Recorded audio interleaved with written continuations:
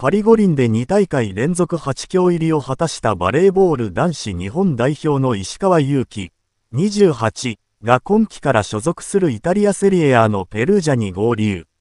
同クラブは20日、公式 SNS で合流を伝えたが、斬新すぎる動画が話題となっている。映画、ハリーポッターの音楽とともに、日本風の背景の中で石川が竹ぼうきにまたがり、空を飛んで本拠地のアリーナに入り口に到着。ほうきを手に、アリーナを眺めるというストーリー性にあふれる動画。